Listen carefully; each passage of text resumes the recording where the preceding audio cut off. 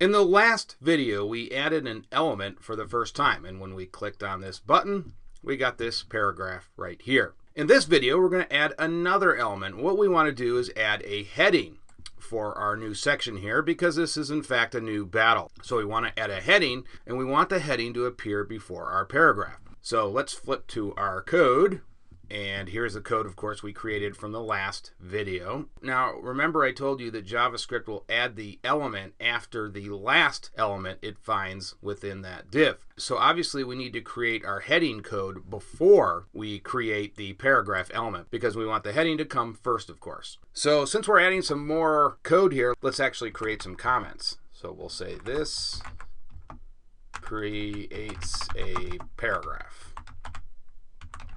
Good. And then we'll just copy and paste this and we'll create an area here for our heading that we're about to create.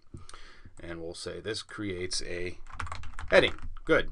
And of course we can use the same code like I said that we created in the last video. So let's go ahead and just copy and paste this and let's use a different variable name. We'll call this element h for heading and we'll put an h2 here and so this will create our h2 heading above our paragraph. We can go ahead and use this again.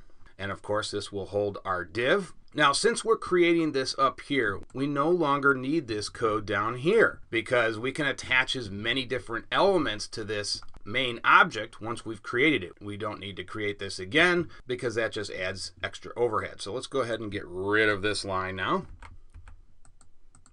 Good. So now that we have our H2 heading element created, we of course need to append the child to the div. And we can just go ahead and copy and paste this.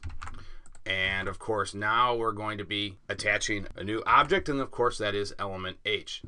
And then, of course, we need to create our text node for our heading, and we're going to call that the Battle of Salamis much shorter than what we had in the last video in terms of text. And actually, let's add some quotes here. Well, okay, let's just uh, move this.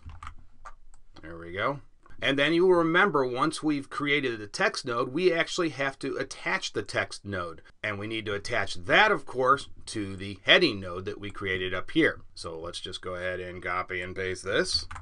And of course, this will be element H and you know what? We're going to give this text another variable name too. So let's call that text h and text h. Good. And you know what? We need a t here for the. That wouldn't work too well. Okay, so let's save everything up. And let's go run our web page in Chrome and let's see if this works.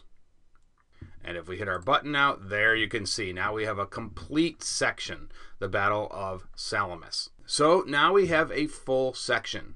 So let's close this out. Now you might be wondering, if we can add an element, we should be able to remove an element. And that's what we're going to do in the next video. See you guys then.